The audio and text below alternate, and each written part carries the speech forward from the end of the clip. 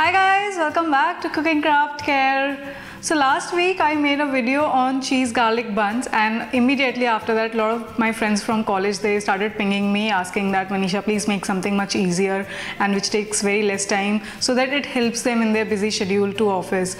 So this video is about instant upma mix. You can make this beforehand and you can store it in place and every time you want to just have a bite all you need to do is pour hot water to the mixture and just wait for 2 minutes and it'll be all ready to eat. It's that simple. So, so let's get into the recipe and see the ingredient list. To make instant rava mix, you will need 1 chopped onion, 2 teaspoon of soaked urad dal, 2 teaspoon of soaked chana dal, 1 teaspoon salt, pinch of asafoetida, 1 teaspoon rye, 1 teaspoon cumin seeds, few curry leaves and chopped chili. You will need a clean container, airtight container to store the mix. And we will use oil for roasting. Heat your pan. To this add 2 tablespoon of oil.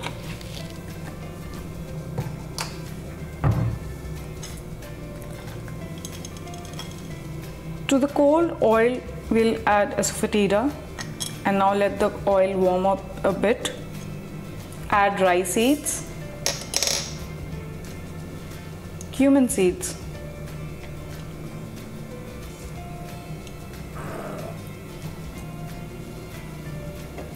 and chili.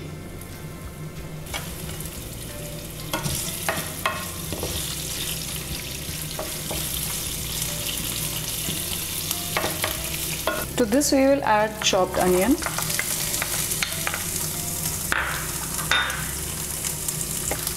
Chana dal and urad dal. Add curry leaves. All the spices have been roasted nicely. To this now we'll add our rava or suji. Approximately 3 cups of rava.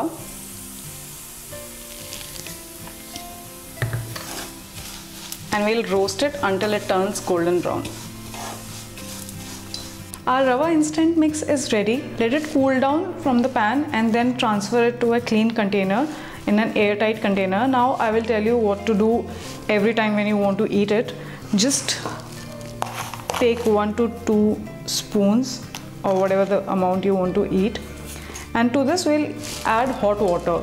I have put in few peas also here. This is totally optional if you want to eat it with vegetables or not. You can add carrots also to it and just fill water until the mix is entirely covered and leave it like this for 2 minutes and it will be all ready to eat.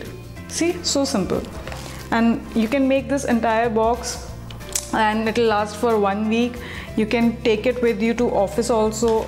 And whenever you are hungry just pour hot water to your tiffin box and just grab a bite